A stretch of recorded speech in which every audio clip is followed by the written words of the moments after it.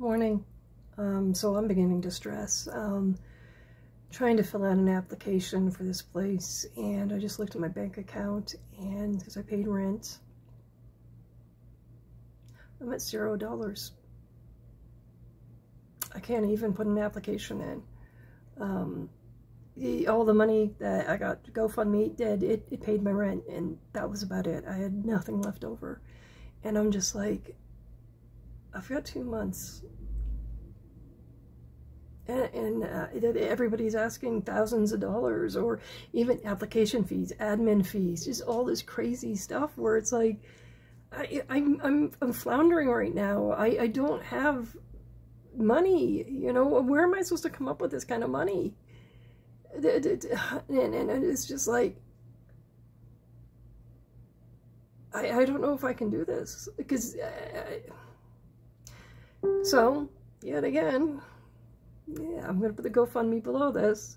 If you can help, um, I will pay it back in some form or another by either donating to GoFundMe's. I'm going through all my books, all my movies, everything. I'm going to see if I can sell them somewhere. So it, it's like I'm, I'm, I'm getting rid of so much stuff and I'm um, trying to, I'm trying, I'm trying to sell stuff, but I'm just like, what is wrong with this country? I mean, what, what I, I don't know what I'm going to do. I, I don't, I don't have the foggiest.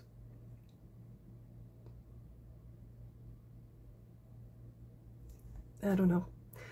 Um, I've been trying to stay upbeat and everything so I can do the video so I can get, I only need 30 more watch hours. And even then, I'm not going to make enough money to make a, an income that would help out. Um, but it, it, it's like, I don't know.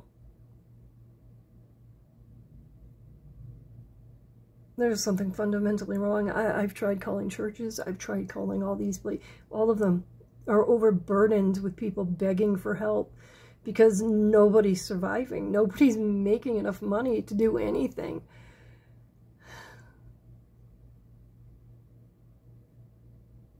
I mean, we'll be, you know, yeah, so I'm saying we're going to be fine. And I'm like,